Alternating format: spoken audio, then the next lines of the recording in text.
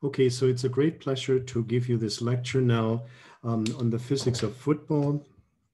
Let me start out first by playing a little video clip, uh, which has been in part um, prepared by uh, through support by the National Science Foundation.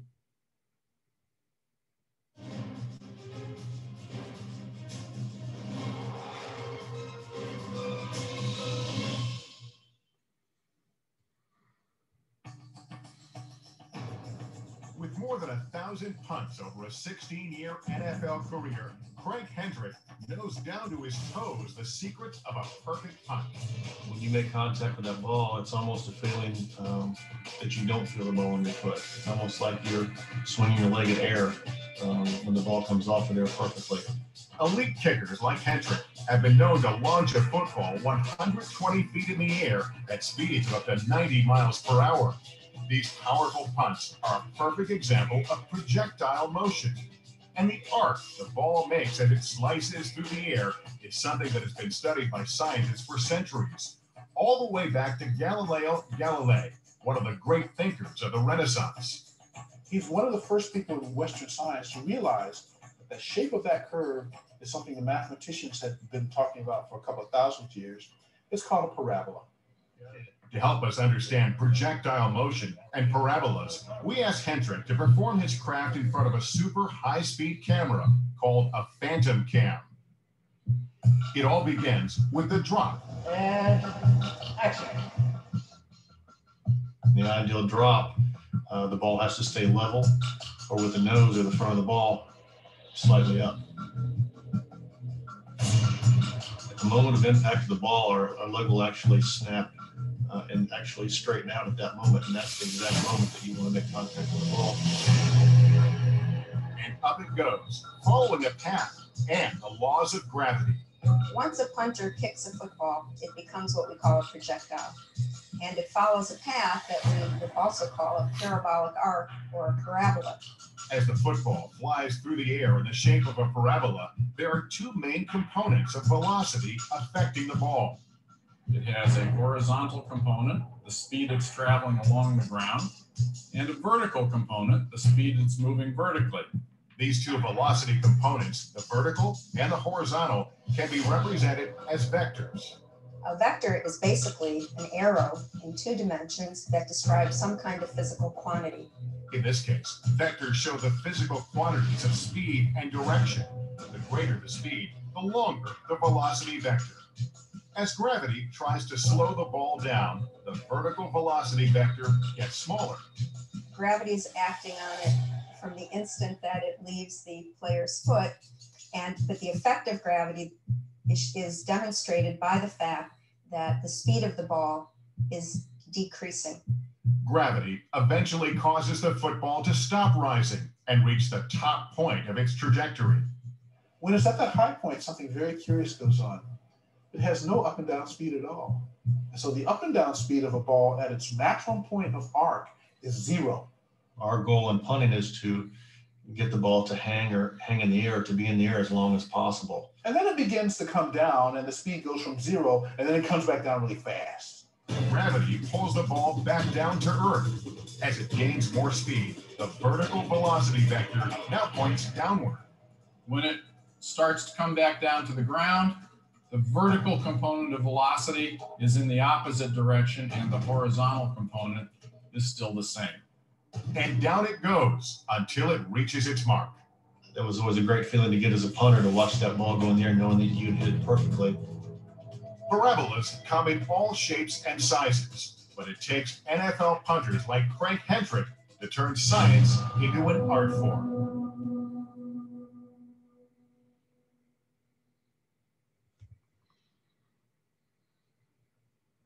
All right, so after this little introductory video, let me give you an outline of the topics concerning the physics of football that I want to discuss. Um, so I first will go through some basics of the of a football's trajectory from throwing and kicking and give you an example directly related to the play of football, namely a downfield pass uh, in a punt. The second part I want to discuss are the basics of momentum conservation uh, in collisions. And there I'm going to discuss then a tackle, football tackle. Secondly, um, the um, next topic I want to discuss is the basics of impulse. Uh, and there I want, want to discuss uh, the relevance for helmet design. Uh, other effects that I'm going to address are the spiral, very quite important for having a good control of the football. And I will finish with a brief summary. So let's first begin by a discussion of the basics of a football's trajectory, namely the motion in two dimensions uh, of a football. And so what I'm drawing here now is a coordinate system. Um, so you see here the y-axis in units in yard as a function of the x-axis in yards. And what I'm drawing here now is various examples starting at the location um, of a football player throwing a football up in the air and various possibilities. Uh, and what distinguishes now these various trajectories? Well, what they all have in common uh, is the initial velocity, the total initial velocity. Uh, and this is quoted here in various units, 50 miles per hour. You can convert this into kilometers per hour, which, which would be 80.5 kilometers hour, or feet per second, 73.3 feet per second, or meters per second 22.4 or last but not least um, in yards per second 24.4 so this is a common quantity for all of these trajectories but what distinguishes them now? Well it's the initial angle in the first case in orange the initial angle would be 10 degrees 25 degrees and then in black here we have 45 degrees right in between um, and then we have here 65 degrees uh, in blue uh, in a very large angle, uh, initial angle uh, at 80 degrees. So the initial conditions of throwing a football are given by two quantities. Number one, the initial total velocity, number one, and number two, the initial angle. Um, and the, the motion of a football can be then decomposed uh, into an in two independent motions along in the horizontal direction and the vertical direction. As you probably still know from your high school education, you can decompose this total initial velocity into a component in the horizontal and in the vertical direction using very basic trigonometry. So meaning the x component here would be v naught, the length of the velocity arrow here, velocity vector, times the cosine of this angle, and in the vertical um, direction, it would be V naught times the sine of this angle, opposite uh, and adjacent. So now we have two independent overlapping motions.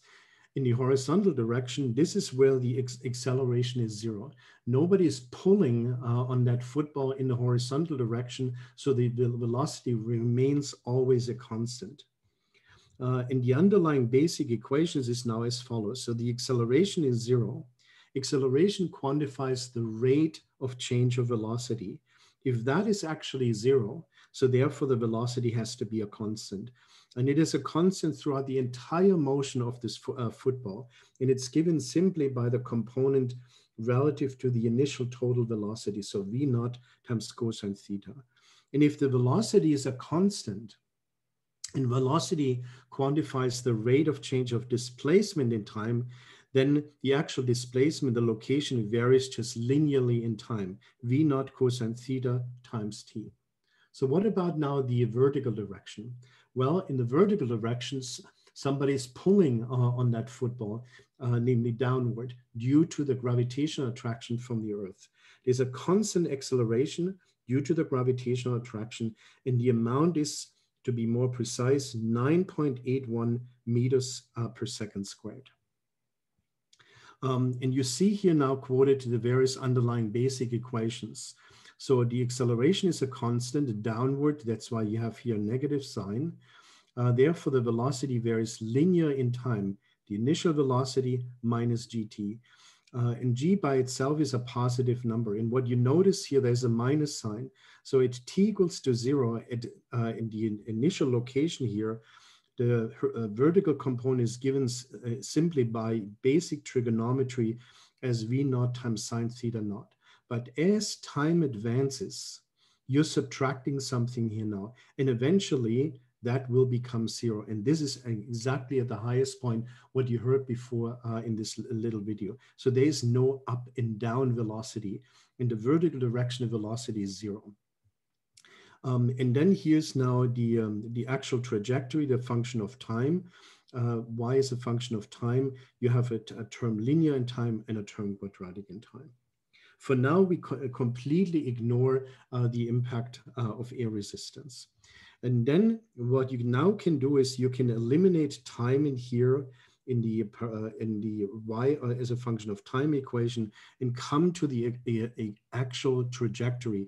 And this is what is plotted here now. y is a function of x for a certain initial angle uh, and for a certain uh, initial velocity. Those are the initial conditions. G, the gravitational uh, um, uh, acceleration constant, uh, is a constant value uh, here on the Earth. So let me now continue the discussion about basics of football and discuss various characteristic quantity of the motion of a, um, of, a, of a football, namely the rise time, the hang time, the peak time, and the overall range. So let me come back to this graph, what you just have seen before here, um, distinguishing different angles, 10, 25, 45 degrees, 65 degrees, uh, and 80 degrees. The rise time is exactly given by that point where the, uh, where the vertical component of velocity reaches a zero value. This is exactly the rise time. So you can easily uh, obtain this number using the very basic equation what I just have shown you before, setting the vertical component to, to zero.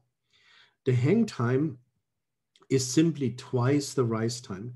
So it takes as long uh, uh, to go up uh, as the as it go out, coming back down. So so the hang time is two times the rise time. And what you now can do is you can eliminate this term here and formulate this entirely in terms of the overall height here. And what you notice here, that the hang time is entirely determined uh, by the height, um, the maximum height uh, of the football's trajectory. The peak height is now given here. And last but not least, the range. And now you notice something peculiar here. The range, for example, shown here for 10 degrees, has the same range as it also have for 80 degrees. Or the range here at 25 degrees has the same range as 60, uh, 65 degrees. And this is a peculiar uh, property of this term, the sine of two times the angle, uh, because angles which add up to 90 degrees have the same value of sine of that two times of that angle. Uh, so in this case, 10 plus 80 degrees adds up to 90, 25 and 65 add up to uh, uh, 90 degrees. So in both cases, the sine of two times of the respective angles uh, is identical. There's another thing what you notice here. Uh, for 45 degrees, you reach the largest range here. So this is two takeaway messages what I want to tell you here right now. The hang time here, what you have also heard before uh, in this little introductory uh, video is entirely determined by the maximum height of the football's trajectory, number one.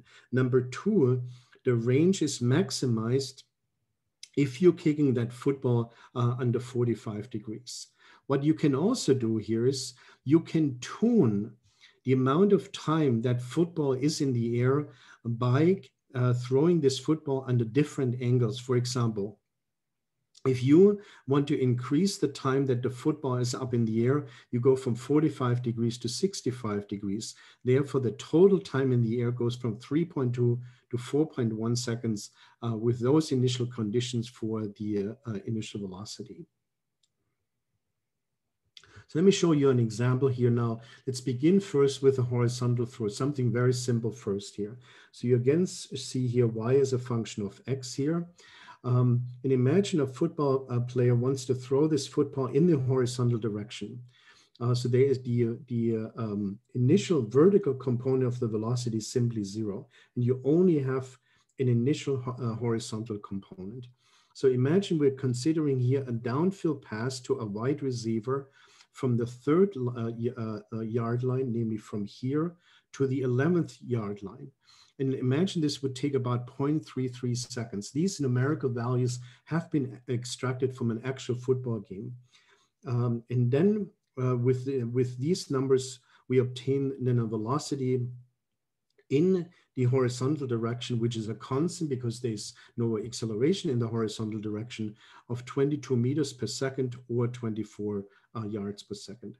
So what is the vertical position of the football at the location of the wide receiver? So now what is actually that vertical location here? So the initial location would be the height of that football player. Let's say this is six feet. But what is now the, uh, this location here afterwards? Well, we we can also calculate that. So the initial location here would be six feet, meaning the height of a football player.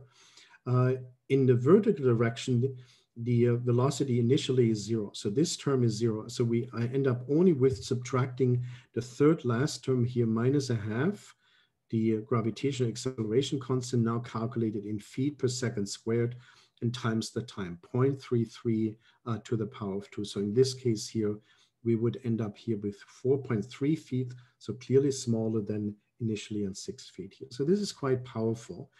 Um, another thing which we're able to do is what is the angle of the football relative to the horizontal direction here? So meaning this angle here. And we obtain this angle by the ratios um, of the respective velocities here. Um, so the vertical uh, velocity component um, after that time 0.33 seconds, uh, when you throw this uh, foot, this downfield pass to a wide receiver would be now as follows. The initial velocity is zero, so you have only this term minus gt. We know g, this is minus, uh, this is 32 feet per second squared, and the time is 0.33 seconds. So we then are able to calculate the vertical component of the velocity. The horizontal component, we do have that already anyhow. Um, that happens to be the um, Uh, 72 feet per second versus the vertical component of minus 3.5 feet per second. The minus sign simply takes care of that it's going downward here. And with these two, using very basic trigonometry, we can calculate this angle here, namely as the inverse of the tangent of the vertical to the horizontal component, which turns out to be here 2.8 degrees. Let me show you now here the example of a punt. So let's go back to our uh, trajectories for throwing a football under different angles for an initial velocity here. Let me quote this uh, in, in feet, 73.3 feet uh, per second. And what I have compiled here now is a table um, of the hang time the height and the range for different angles. Uh, and what you see here, the hang time, again, the hang time is the total time that football is up in the air. For example, under 45 degrees, uh, that football is for a total time of 3.2 seconds uh, up in the air here. Uh, and you notice here, the hang time is entirely determined by the height. So with increasing, uh, with increasing um, height, uh, the uh, hang time is also increasing here. The range here is entirely determined by the, the uh, actually angle for a fixed uh, initial velocity and you receive the maximum value under 45 degrees here. That's a property of the sine of two times the angle. And what you also notice here for angles which are add up to 90 degrees, like 10 and 80, you get the same range, namely 19 yards. And for 25 and 65 degrees, which also add up to 90 degrees, you get the same range, namely 43 yards. So the, so the strategy, which I've mentioned also before, is to adjust the launch angle to maximize the time for the rusher, which, for example, runs with 10 yards per second, getting the, to, uh, the downfield to catch up uh, and attempt to, uh, to tackle the returner. So under 45 degrees, the horizontal distance would be 32 yards. Whereas under 65 degrees, uh, the hang time is simply larger here, and you have uh, you are here at a 41 uh, yards, and you're able to catch up to that. You would not be able to do that um, if the um, if you reduce the hang time because you're throwing it under a smaller angle. So let's come now to um, a second class of topics, which is super important uh, in the game of football, namely the basics of momentum conservation and collisions. Let's first talk about some very basic aspect of momentum and momentum conservation. So how is momentum defined? Well, momentum, uh, as Newton calls it, is the, the quantity of motion is the product of mass times velocity. Velocity is a vectorial quantity so the direction of the velocity is inherited to the momentum. So momentum is a vectorial quantity. Momentum vector equals to mass times the velocity vector. Now, what's the uh, connection between force uh, and momentum, or rather momentum change? Force is nothing else as the rate of change of momentum in time, changing momentum divided by delta t. And you can write here the, the change momentum as the difference between a final uh, and an initial quantity. Let me show you now something uh, very interesting. Namely, out of third Newton law, you can actually derive so-called momentum conservation. Third Newton law states, if you exert a force of one object on another object, the other object exerts the same force on you, same in magnitude, but opposite in direction. Imagine these two football players I label him as one here and the other uh, football player uh, here and two here. Um, so football player um, uh, one here experiencing a force onto that football player one from two and football player uh, two experiencing a force F to one from uh, football player one onto two. They're the same in magnitude, same length of these vectors, but they are acting uh, in the opposite direction. And this is purely a consequence out of third Newton law, how objects interact with each other when once they're in contact. So we can formulate this mathematically in the following way. F12 equals to minus F21. And imagine these two football players are engaging in a tackle here, and that occurs over a little time interval delta t here. And we're ignoring any other forces uh, around that, only these two very large forces, so-called contact forces. But force times the time interval is nothing else than the momentum change. So you have here, therefore, the change momentum of football player one equals to the negative of the change of momentum of football player two here. And the change in momentum is the difference between the final and initial value as it's shown here, uh, equals to minus the respective difference, but now for football player two.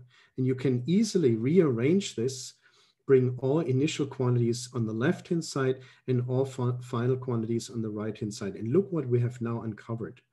The initial momentum of football player one plus the initial momentum of football player two equals to the sum of the respective quantities in the final state. So meaning the total momentum before and after is the same. That's in the true sense, momentum is, uh, is conserved. Um, so let's talk about now collisions. There, we, one classifies uh, two types of collisions. Before I do that, I want to introduce one important quantity which captures and quantifies the level of energy of motion, so-called kinetic energy. It's given here by this little formula half times the mass times the velocity of the object squared. Um, elastic collisions are those types of collisions, uh, and this is symbolized here in this little view graph here. Imagine you have a billiard ball coming in with a certain momentum, uh, striking a billiard ball uh, at rest here. So that billiard ball is moving, that initial billiard ball is at rest. So what elastic collisions now uh, capture is that the sum of kinetic energy before and after the collision is the same. Um, so meaning the uh, kinetic energy of these two objects before is equals to the kinetic energy um, uh, of the two objects afterwards. So here before uh, and here afterwards. In the inelastic case, as part of the collision, you're losing something, namely the conversion, not the destruction, the conversion of energy of motion in other forms of energy, for example, deformation uh, or heat. And therefore, the total sum of the kinetic energy before is larger than the kinetic energy uh, in the final state. So now let's talk here about a tackle, uh, a numerical example uh, of a tackle here. Imagine uh, two football players encounter engaging in an inelastic collision. So the football player one, let's say, has 80 kilograms in mass and is moving with 4.1 meters per second, meaning to the right. Football player two has 91 uh, kilograms, is moving to the left. That's keeping track of this minus sign, minus seven meters per second. The final velocity we can calculate now using momentum conservation is minus 1.8 meters per second. So both of them, while in this part of this tackle, are moving somewhat to the left. Now let's compare the energy of the motion, the kinetic energy before and after the collision. Before, well, it's the kinetic energy of player one, 80 kilograms and 4.1 meters per second. Um, and the kinetic energy of player two gives you 2,902 joule. After the collision, they're moving as one combined object with a common velocity. We have only 277. So you lost a huge amount, namely 2,625 joule. Where did that go? Well, first of all, let me compare this to give you a sense for how much energy that is. That's the energy to power a 60 watt light bulb, which you all have at home for about 45 seconds. So quite a bit. Um, in this energy, it's not lost. Energy is uh, uh, concerned, um, uh, covered uh, in other forms of energy. In this word, the conversion to heat uh, and deformation. So let me come now to the third part, uh, the basics of impulse. Um, the impulse is another form of really capturing the true sense of momentum change. Uh, impulse is another uh, formulation of quantifying uh, of momentum change as part of a collision. Um, if um, in you, so momentum change is equals therefore the force times occurring over a certain time interval. If that force is a constant, you simply multiply that force times that time interval. If, however, that force is changing throughout that collision process, then using very basic aspects of calculus, you evaluate an integral of the force vector uh, to over a time interval. And let me also um, give you an intuition uh, into that. Namely, what role does the time interval delta t play? Imagine the following. When you, you guys are jumping up in the air, uh, you initially at an instant in time come to rest. Then you're moving back down and just you're converting potential gravitational potential energy into energy of motion. And just before you hit the ground you have a very large downward momentum. Then you're colliding with the ground and your momentum after the collision is zero. So you have a fairly sizable momentum change. So momentum change is now force times delta t. Well force on what? Well force on your body on your knees so imagine now the following. It's best to land with your knees bent so that your legs can uh, flex. Now imagine this time interval is large. Uh, for the same momentum change, same momentum change, uh, imagine that time interval is large. Therefore, you can afford that this, uh, the force on your knees is actually small. If you do not flex your knees, meaning delta t is small, then the force is actually very large uh, and you, you can, can cause some injuries. So what is the relevance now for uh, playing football? Well, this directly really drives the, the helmet design. You see here a very famous example of a helmet, Xenith X2 helmet, uh, with various cushion, uh, cushioning elements uh, inside of that helmet. The role of the cushioning is really to reduce the impact of these large forces. You make delta T large, for a given momentum change and you reduce that force. Uh, in the NFL, helmet to helmet hits are banned and lead to a penalty of 15 yards uh, are given for violation of that. The last topic uh, is one of the most challenging topics in playing football, uh, the spiral and also the, the relevance uh, of air resistance. And I simply want to briefly mention this here um, how much resistance an object uh, experiencing while uh, flying through air is given by the so-called drag force. It is dependent on the effective area uh, of the object while flying through air. And you see here different shape examples here. Uh, the density uh, of the medium here, in this case air, the velocity object, And last but not least, a coefficient which characterizes the shape. You see here, for example, a streamlined object has a, a drag coefficient of only 0.04. In contrast for example, a cube here has a drag coefficient of 1.05. I mean, these uh, aspects play a hugely important role, for example, in the design of cars. Turns out that this uh, drag coefficient here, plotted here on the y-axis, as a function of the baseball uh, uh, speed, uh, or rather football speed, um, uh, is depending on that. And you see here now, on, uh, depending on what, namely, you have here a football which is non-spiraling around the long axis, whereas here the case where the football is actually spiraling at a rate of 600 uh, rate per minute around the long axis. And you can redu reduce the level of uh, that drag coefficient. Number one, it is velocity dependent, and you can reduce it somewhat in particular at lower velocities. Air resistance in the spiral football are clearly very complicated phenomena. Uh, putting a spiral on the ball allows a much greater accuracy uh, because the flight path is, uh, is more predictable. And this is one of the key uh, talents, uh, for example, for quarterback to, uh, to put a spiral on a football when, when it throws it. But this is one of the more challenging parts also um, in, in, in mechanics and physics to really de describe this. So in summary, the takeaway message is the following. For a given initial velocity, the maximum range is achieved if you launch that football under an angle of 45 degrees. The hang time or total flight time is determined solely by its peak height and is independent of the horizontal velocity component. A tackle involves inelastic collisions during which kinetic energy is converted to heat uh, and deformation. A helmet protects by spreading the force both in space and time by its, uh, its padding. Air resistance leads to an effective smaller, uh, smaller range. A spiral helps to control uh, a thrown football. Clearly, there's a lot of physics at play uh, in various elements um, of football. So thank you so much uh, for your attention.